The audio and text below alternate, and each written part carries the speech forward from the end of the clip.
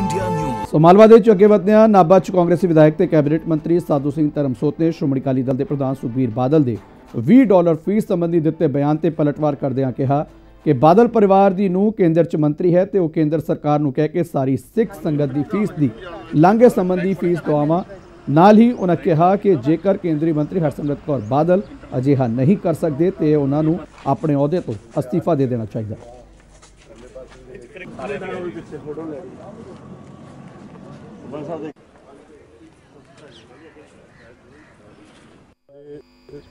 ਇੱਕ ਕਰੋੜ ਆਇਆ ਬਾਕੀ ਜਿੰਨੇ ਕੰਮ ਹੋਣੇ ਨੇ ਜਿਵੇਂ ਜਿਵੇਂ ਕੰਮ ਹੋਈ ਜਾਣਗੇ ਪੈਸੇ ਆਈ ਜਾਣਗੇ ਕੋਈ ਪਹਿਲਾਂ ਤਾਂ ਹੈ ਨਹੀਂ ਵੀ ਆ ਪੇਟੀਆਂ 'ਚ ਦਾਣੇ ਸਾਲ ਵਾਸਤੇ ਬੰਦ ਕਰਕੇ ਰੱਖਣੇ ਨੇ।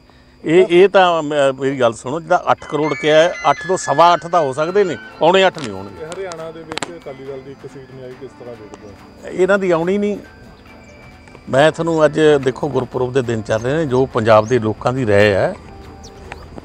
ਇਸ ਬਾਦਲ ਪਰਿਵਾਰ ਦੀ ਕਦੇ ਵਾਰੀ ਨਹੀਂ ਆਉਣੀ, ਜਿਹੜੇ ਗੁਰੂਆਂ ਨੂੰ ਪਿੱਠ ਦੇ ਦੇਣ ਔਰ ਤਾਕਤ ਦੇ ਜ਼ੋਰ ਤੇ ਗੁਰੂ ਸਾਹਿਬ ਨੂੰ ਵੀ ਢਾਹ ਲਾਉਣ ਦੀ ਕੋਸ਼ਿਸ਼ ਕਰਦੇ ਹੋਣ, ਉਹਨਾਂ ਦੀ ਕਦੇ ਵਾਰੀ ਨਹੀਂ ਆਉਣੀ। ਪਿੰਡ ਵਾਲਿਆਂ 'ਚ ਰੋਸ ਹੈ ਜੀ ਵੀ ਨਗਰ ਕੀਰਤਨ ਹੈ ਜਿਹੜਾ, ਉਰੇ ਨਹੀਂ ਆਇਆ। 17 ਦਿਨ ਮਹਾਰਾਜ ਉਰੇ ਰਹੇ ਨੇ। ਸ਼੍ਰੋਮਣੀ ਕਮੇਟੀ ਲੈ ਕੇ ਨਹੀਂ ਆਈ ਇੱਥੇ ਉਹ ਸ਼੍ਰੋਮਣੀ ਕਮੇਟੀ ਕਮੇਟੀ ਦੀ ਆਪਣੀ ਡਿਊਟੀ ਹੈ ਉਹ ਚ ਮੈਂ ਨਹੀਂ ਦਖਲ ਲੈਣਾ ਅਸੀਂ ਨੰਗੇ ਪੈਰੀ ਹਮੇਸ਼ਾ ਇੱਥੇ ਆਉਂਦੇ ਆ ਫਿਰ ਵੀ ਆਵਾਂਗੇ ਅੱਜ ਵੀ ਆਵਾਂਗੇ। ਇਹ ਤਾਲਮੇਲ ਕਿਉਂ ਨਹੀਂ ਬਣ ਰਿਹਾ ਐਜੀਪੀਸੀ ਤੇ ਗਵਰਨਮੈਂਟ ਦਾ ਜੀ।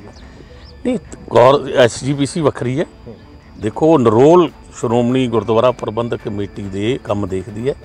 ਔਰ ਸਰਕਾਰ ਨਹੀਂ ਚਾਹੁੰਦੀ ਕਿਉਂਕਿ ਕਾਂਗਰਸ ਪਾਰਟੀ ਵੈਸੇ ਵੀ ਕਿਸੇ ਇੱਕ ਧਰਮ ਨਾਲ ਨਹੀਂ ਸਾਰੇ ਧਰਮਾਂ ਦਾ ਸਤਿਕਾਰ ਕਰਦੀ ਹੈ। ਸਾਰੇ ਲੋਕਾਂ ਦਾ ਸਤਿਕਾਰ ਕਰਦੀ ਹੈ।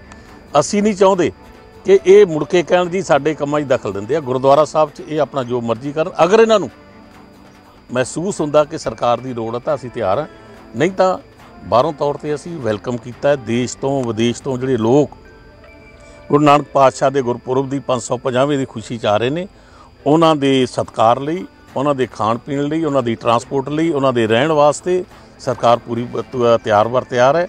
ਔਰ ਨਿਮਾਣੇ ਸਿੱਖ ਵਜੋਂ ਮੁੱਖ ਮੰਤਰੀ ਜੀ